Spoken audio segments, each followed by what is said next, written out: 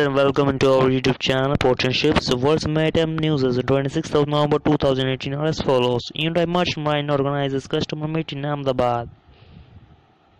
CMA CGM continues growth in more balanced market during quarter 3. PIL revamps Pakistan Mundra Express Service PMX. COSCO Shipping Ports launches two new boats at COSCO PS Terminal with PS Singapore. Lim Kitack wins second term as IMO Secretary General. DMICDC largest Data Services at VOC Nambaram port commences. Inland Waterways want to increase export import rate, how they are poised to be transshipment port. Drewry Global Port throughput retraced significantly in September.